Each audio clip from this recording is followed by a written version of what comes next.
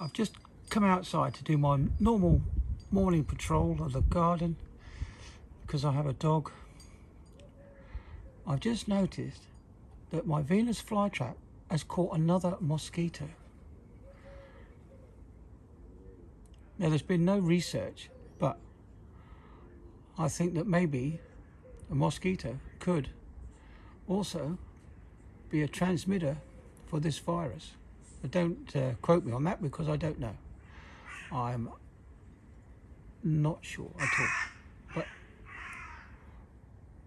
one of my the big ones, uh, big uh, Venus flytrap that I showed you the other day has actually caught something. But I've got a few more traps to go. Not, not many at this rate. And uh, of course the sundews caught a few things. A few of the tiny little bugs. But yeah, it's all looking very good. This morning in the uh, insect eating plant area